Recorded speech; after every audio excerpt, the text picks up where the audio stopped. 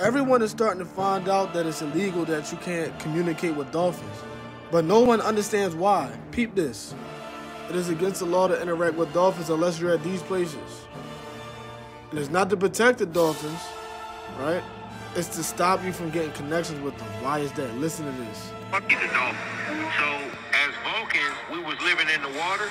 Yeah. All right, all right. I'll tell you, it's about 19 galaxies It's in a cluster. Uh, and most of those galaxies are water galaxies. This is a water galaxy. Most of all the planets in this galaxy, especially on this side, are water planets. All the planets in your solar system are water planets. That explains why the, the dolphins so smart.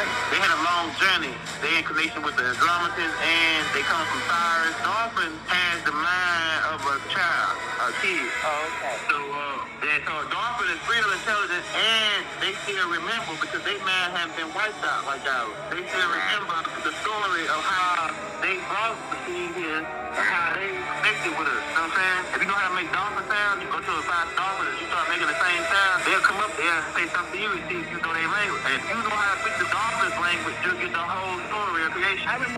Basically, what he was stating was is that the dolphins been here since the creation, and since they haven't been wiped out and brainwashed like us, they understand everything that happened and seen it all, bro.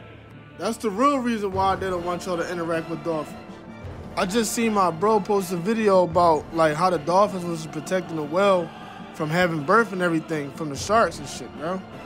Them niggas is woke. That's what y'all need to do. Wake up!